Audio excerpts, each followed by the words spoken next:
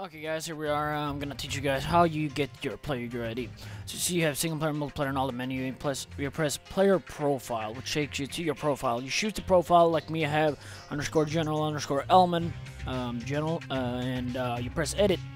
Then you have a couple of numbers here. You can't see my mouse right now because I have it activated. See your player name. That's not it. Face. That's you change your face, glasses, and so on. Speaker, how you want to sound, picture, voice. The squad URL is basically what we use, and. Uh, then right in the bottom, there's something called player ID.